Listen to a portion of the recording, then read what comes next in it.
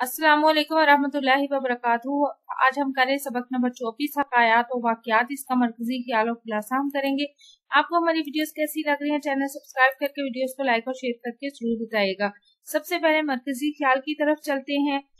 ये सबक जो है, हकायात और वाकयात, ये दो हकायात इसमें बयान की गई हैं, जिसमें एक हकाय जो है, वो सुल्तान महमूद गजनबी जो है उनके गुलाम अयाज की है जो उनके गुलाम थे लेकिन अल्लाह ताला ने इन्हें बेपना सलाहितों और जहानत से नवाजा था। और सुल्तान महमूद जो है वो इन पर बेतहा न सिर्फ़ एतमाद करते थे बल्कि वो उनकी अक्लमंदी और इनकी जहानत को भी जानते थे और सराहते थे। बादशाह के दरबारी जो है थे वो इनसे हसद करते थे और हर वक्त बादशाह को आ, आ, उनके जो गुलाम अयाज हैं उनके खिलाफ भड़काने की कोशिश करते रहते थे। तो एक दिन सुल्तान महमूद ने एक मतलब वाकई में होने वाले नतज से दरबारियों के मुँह बंद कर दिए। यानी उन्होंने उनका इम्तिहान लिया जिसमें आया जो है वो कामयाब रहे। दूसरी हकायत जो है वो हकीम लुकमान की है, जो बहुत दाना और सच्चे इंसान थे। वो शक्लो सूरत से सादा और स्याह फाम थे और एक आदमी के गुलाम थे और उसके बाग में काम करते थे। दूसरे मजदूर उनसे हसद करते थे। और उनके खिलाफ जो है वो आका को उकसाते रहते थे। यहाँ भी हकीम लुकमान अपनी सच्चाई और धनाई और अक्लमंदी की वजह से दूसरे और जो मजदूर है उनसे और आका की नज़रों में सुरखरू हो गए। ये इसका मरकजी ख्याल था। हमारे चैनल को सब्सक्राइब करके बेल आइकॉन को प्रेस करें ताकि आपको आने वाली वीडियोस वक्त पर मिल सके। अब चलते हैं इसके खुलासे की तरफ़। मैं ऊपर बताया कि ये जो सबक है, ये दो हकायात पर मुश्तमिल है। एक हकाय सुल्तान महमूद गजनवी के गुलाम जो है अयाज, उनकी है।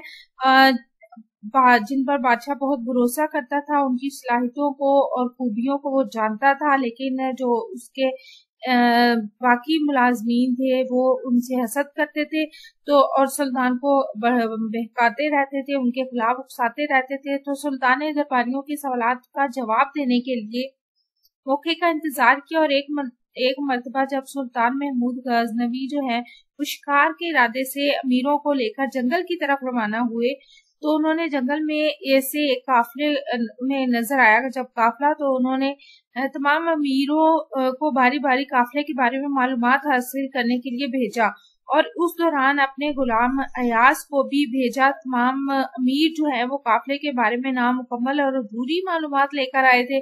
जबकि अयाज जो है, वो एक ही चक्कर में काफिले के बारे में सिर्फ़ मुकम्मल और तफसीली मालूम उन्होंने सुल्तान को दी, ये बात सुल्तान ने तमाम अमीरों को इकट्ठे करके बताई तो वो बहुत शर्मिंदा हुए और उन्होंने सुल्तान से माफ़ी मांगी और कह उठे कि हम अयाज की बराबरी कभी नहीं कर सकते। दूसरी जो हकायक है दूसरी हकायत जो है, वो हकीम लुकमान के बारे में है, जो सियाह फाम थे, सादा शक्लो सूरत वाले गुलाम थे जो एक जंग में गिरफ़्तार हुए और एक अमीर ताजर ने उन्हें खरीद लिया। दूसरे गुलाम हमेशा जो है वो उनका मज़ाक उड़ाते थे, उनकी जाहरी शक्ल सूरत की वजह से और उनकी सादगी की वजह से तो और मालिक से उनकी झूठी शिकायतें लगाते थे। लेकिन हकीम लुकमान इनकी बातों पर कोई तोजो नहीं देते थे, अपना काम ईमानदारी और जानदारी से करते थे। और उनके आका जो है वो के फलों के बाग थे, वो उसमें काम करते थे। तो आका गुलामों को फल तोड़ने के लिए जब भी भेजते तो बाकी गुलाम ज़्यादा फल खुद खा जाते जबकि लुकमान ईमानदारी से फल तोड़ते और आका को लाकर दे जाते। एक दफ़ा आका को गुलामों की बेमानी के बारे में जब इल्म हुआ तो उन्होंने सबसे जब इसके बारे में पूछा तो बाकी सब गुलामों ने हकीम लुकमान जो है उनके सर इल्ज़ाम डाल दिया। जिससे हकीम लुकमान जो है उनका जो आका था वो उनसे नाराज़ हो गया, उन्हें खूब डांट पड़ी।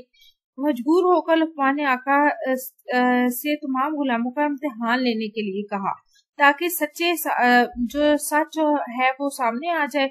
और आका को इसका तरीका भी ये बताया कि तमाम गुलाम गुलामों का पेट भर को पेट भर कर गर्म पानी पिलाए, फिर जंगल में इन्हें दौड़ाए और साथ खुद घोड़े पर सवार होकर चले। जब मालिक ने यह काम किया तो और तमाम गुलाम साथ साथ दौड़ने लगे। तो कुछ देर बाद सारे गुलामों ने क्या करना शुरू कर दी जो फल उन्होंने खाए थे, वो बाहर आ गए। सवाए लुकमान के जिसने कुछ नहीं खाया था, ना ही बेहमानी की थी, उस की क्या बिल्कुल साफ़ थी। आका ने ये देखकर सारे गुलामों को सजा दी और लुकमान से माफ़ी मांगी कि सारा घर और सारा घर का इंतज़ाम भी उसके हवाले कर दिया। और तमाम गुलामों का सरदार भी बना दिया। इस हक़ से हमें जो इखलाकी सबक मिलता है, वो ये कि हमें कभी झूठ नहीं बोलना चाहिए। हमेशा सच और ईमानदारी इस से अपनी ज़िंदगी में तमाम चीज़ें जो है वो करनी चाहिए। और सच्चाई का दामन और ईमानदारी का दामन कभी नहीं छोड़ना चाहिए। यही हमारी कामयाबी का ज़रिया है इस दुनिया में भी और अगली दुनिया में भी।